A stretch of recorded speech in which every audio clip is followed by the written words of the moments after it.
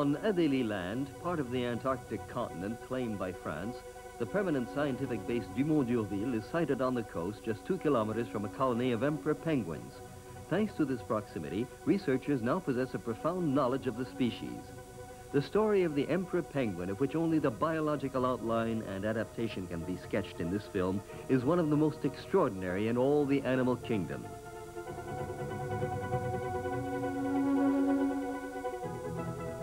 While in the northern hemisphere, the month of March announces the arrival of spring, in the southern hemisphere, on Adélie Land and throughout the Antarctic continent, millions of marine birds have already abandoned the coast where they had come to breed during the brief austral summer. The coast returns once more to a lifeless desert. The temperature begins its long descent below freezing. The sea turns to ice, and little by little the ice floes take shape for an interminable nine-month winter.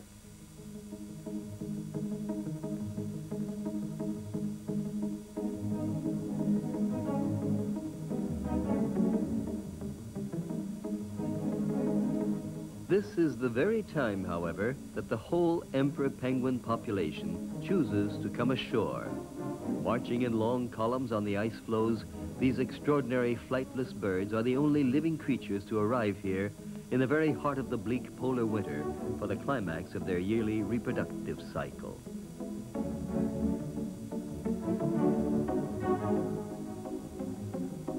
The paradox of the emperors.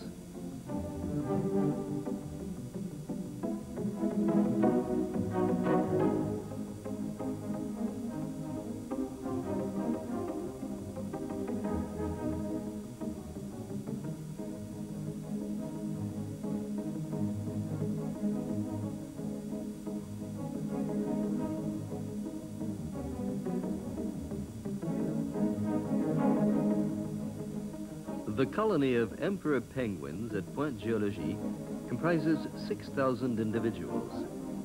But other colonies comprise over 100,000 birds. Each colony camps on the coastal ice floes in the same spot every year.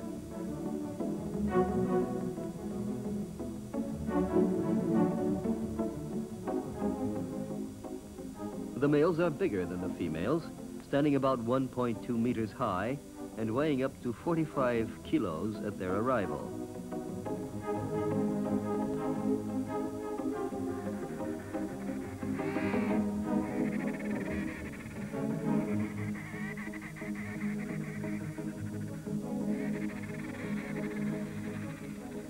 For many months, the emperors are going to face a severe fast, forced to draw on their reserves of body fat. They will quench their thirst by eating snow.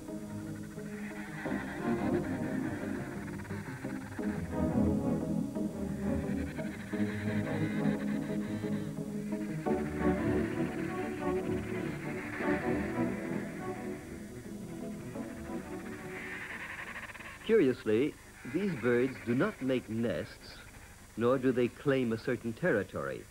Upon arrival, they begin their nuptial displays with a calling song to attract a partner. This call is a sign of identification for the species and also for the sex. Even in such a hubbub, no confusion is possible because only one call by a single bird silences all its neighbors within a radius of up to seven meters. In fact, each emperor must await his turn to call.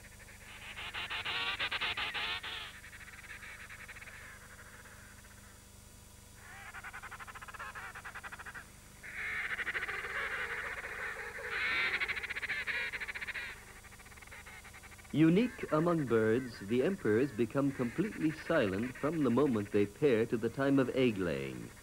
As the partners have no nest, they communicate and take their bearings only by posturing. The penguin's rolling gait allows each bird to keep its partner in view among a multitude of seemingly identical individuals. From time to time, one of a pair will break the law of silence. Immediately, an unpaired bird is attracted by the call and disrupts the couple who have no territorial barrier to protect them. But the trio do not make a happy family, and the outcome is often an eventual separation of the original pair. The couple's continued silence is therefore of paramount importance if they are to breed successfully. In addition, The pair must harmonize their activities quickly because penguins have only a limited reserve of energy, and on the ice floes, every day counts. Ecstatic posturing favors synchronization, and in less than three weeks, all the couples are formed.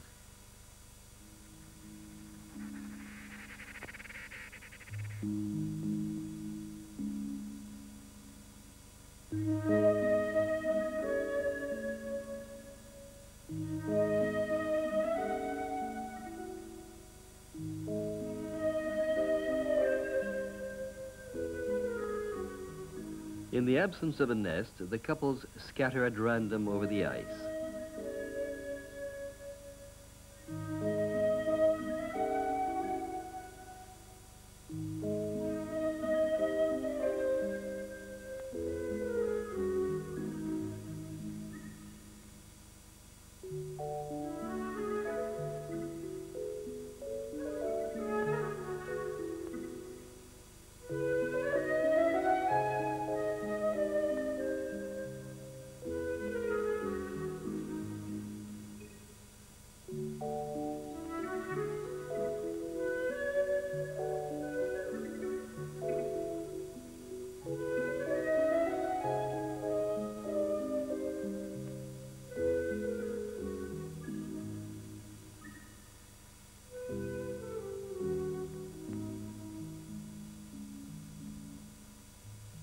It's the beginning of May.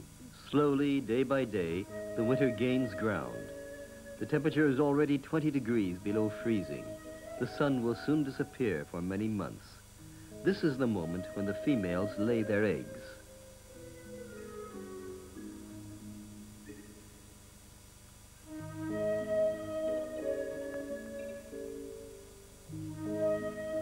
Just one egg is laid directly onto the bird's feet. It will incubate there, and the emperor will carry it by balancing on its heels. For such a large bird, the egg appears small. It weighs only one pound.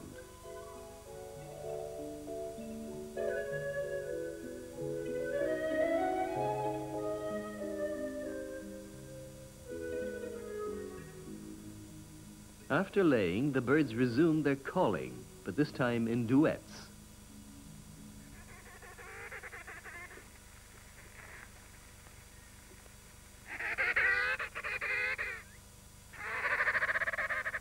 The call is a unique password for the couple which must come together again after long intervals. Each emperor possesses a special call recognizable by its partners. Before the first departure of the females, the couples listen to each other with the greatest attention. Weakened by egg laying and by two months of starvation, the female entrusts her egg to the more resilient male, Barring an accident, the egg will not be separated from him until hatching. He alone will carry it for the following two months.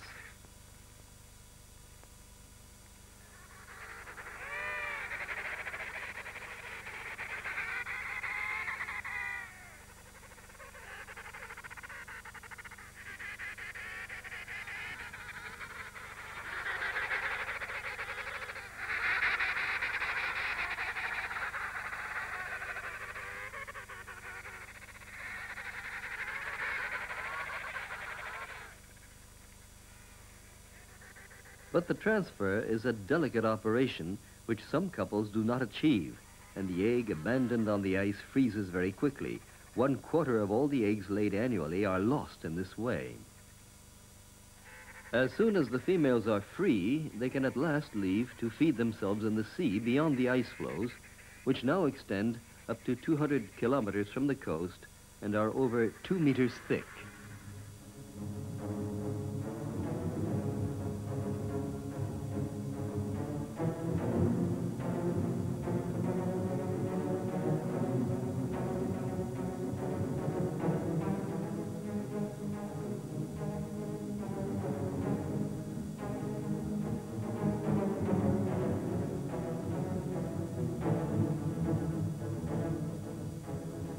June, 20-hour nights, extreme cold, and the threat of blizzards descending regularly from the continent. The males are now alone, confronting the most terrible winter on the planet. The fact that they are able to face these rigorous conditions is due to remarkably effective insulation provided by their watertight plumage and their enormous reserves of fat. The egg, sunk in a fold of the belly, remains well protected from the violent cold.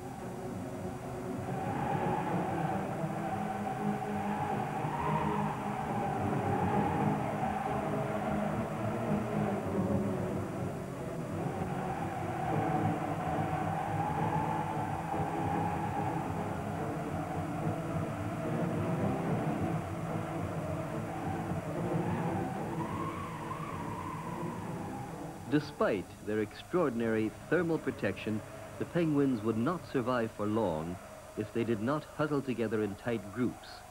Packed into a space of 10 birds per square meter, they considerably reduce their heat loss and therefore their expenditure of energy. For the emperors, this is without doubt their most fundamental adaptation to the cold.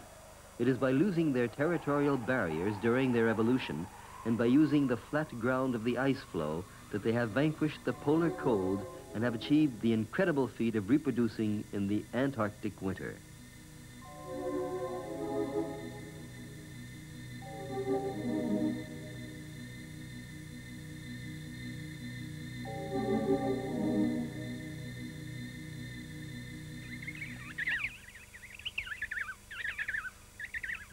July. In the very heart of winter, the first chicks appear.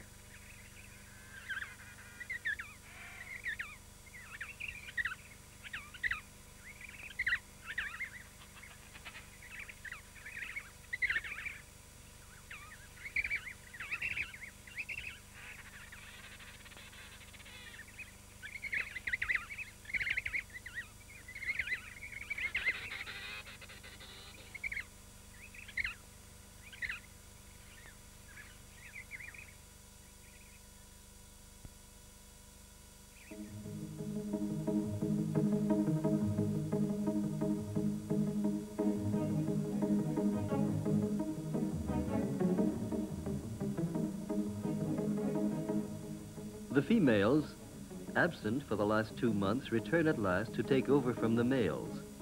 As soon as they arrive, they call for their partner.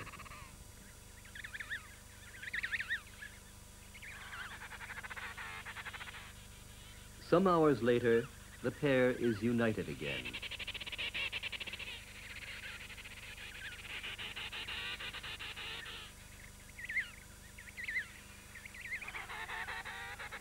The chick receives its first meal of fish.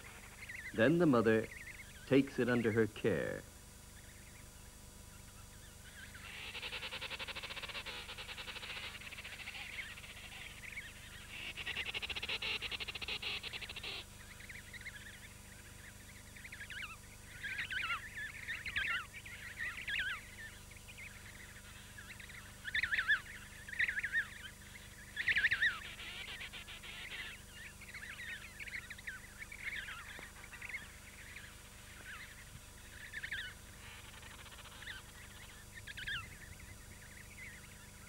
But the males are now in their fourth month of fasting. They have lost close to half of their body weight and they're near exhaustion. The ocean, only two meters beneath their feet, cannot nourish them here. They may have to cross several hundreds of kilometers on the ice floes before reaching the open sea and being able at last to obtain food.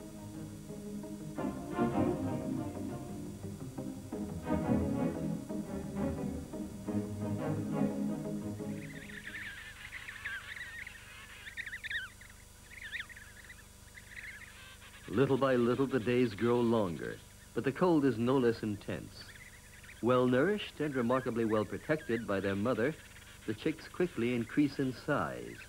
The colony stays close to the islands that anchor the ice floe.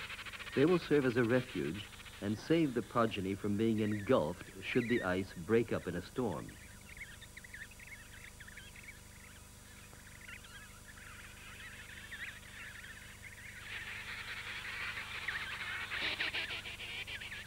The beginning of September.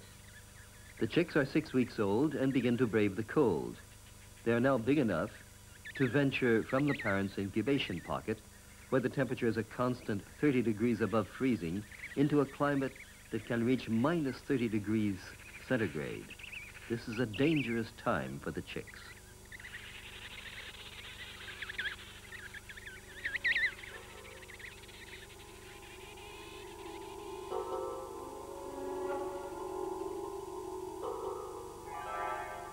In the absence of a nest and of a territorial barrier, a young chick runs the risk of being seized by neighboring parents who have lost their own young. It might then die, crushed in a battle among kidnappers.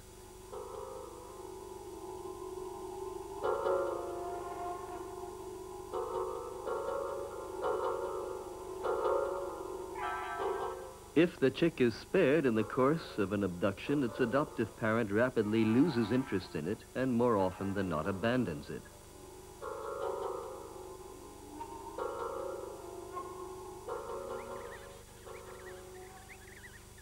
The chick generally finishes by dying of cold. Thus, although one might expect adoption to benefit survival, in fact, it rarely succeeds.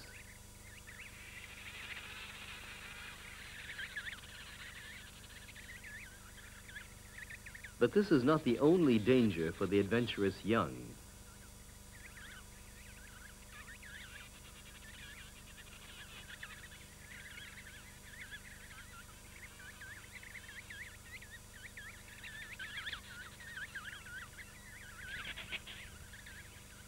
Attacks by the recently arrived giant petrels are, however, very rare.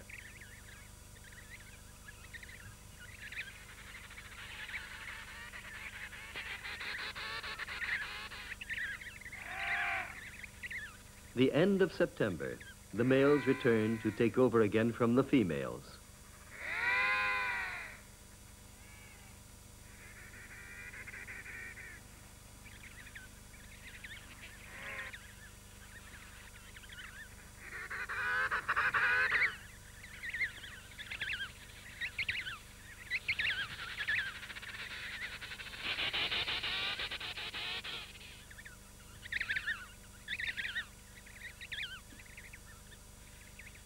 The days grow longer, but the intense cold persists, and the blizzards, more violent than ever, cause large numbers of casualties among the less well-nourished young.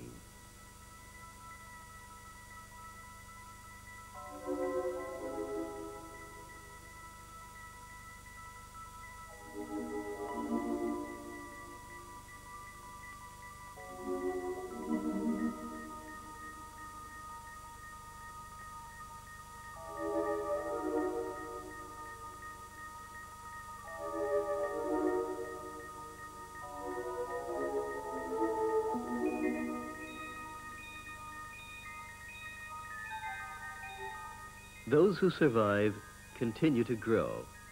The ice floe begins to recede. To fulfill the ever greater demands of their chick, the parents now ceaselessly shuttle back and forth to and from the open sea.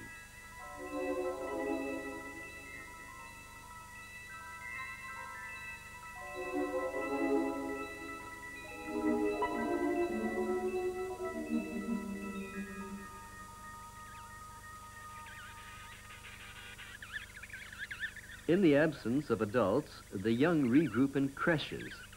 These might be regarded as forerunners of the tightly packed groupings made by the adults. On their return, the parents call in front of the creches until their offspring appear.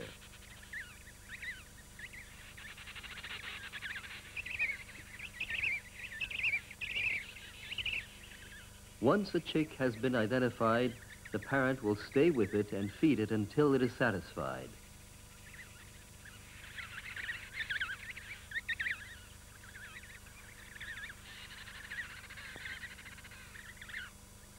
October, the first signs of the austral spring. The surviving chicks are in robust health and now out of danger. Long fissures appear in the ice floe as it begins to break up. These are immediately exploited by Weddell seals, which haul out on the ice.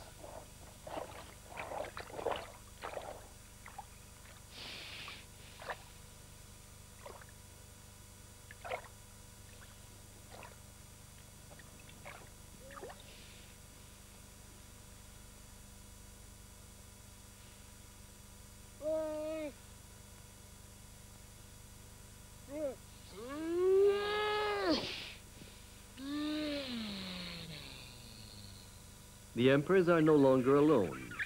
They come across their first Adelie penguins, very much smaller, which arrive to reproduce in the short Antarctic summer. Among the rocks, the Cape pigeons uncover their nests of the previous summer. They also profit from this brief season to reproduce.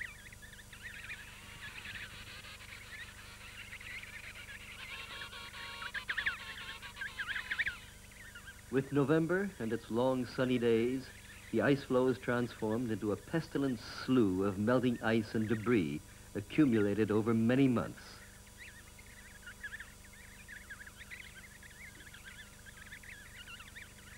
It's the time of the big thaw.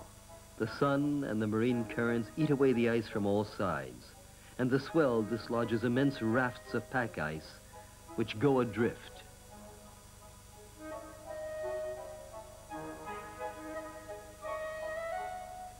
The little Adelie penguins become more and more numerous.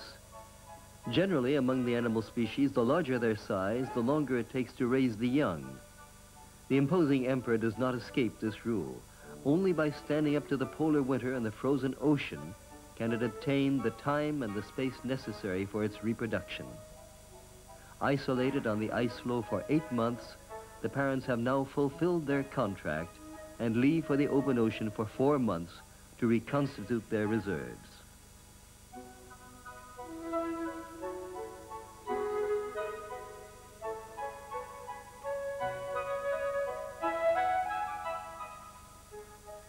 Having lost its ability to fly, the species has acquired a superlative ability to swim. Its adaptation to the aquatic environment is remarkable.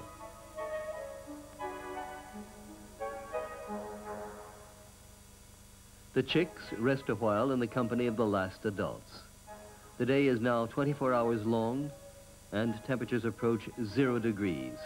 In this mild weather, compared to the conditions they've been through, the young suffer severely from the heat.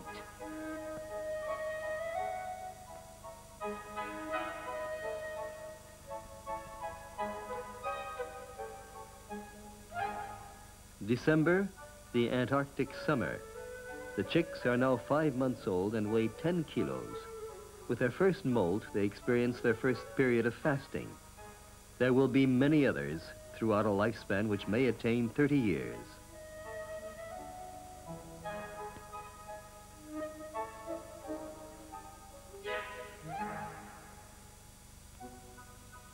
At last, the chicks depart in the middle of the thaw. In five years, when they have matured, they also will come back to reproduce.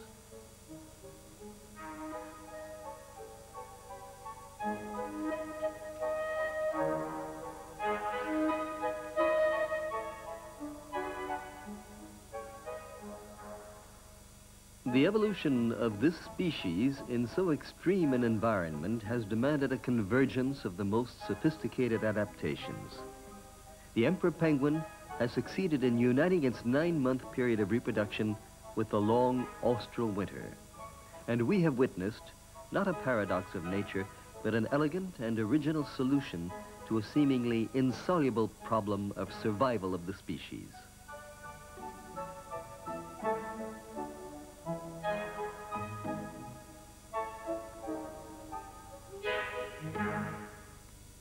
Varied show tomorrow with a selection of the Antarctic seals and birds, but penguins still get a look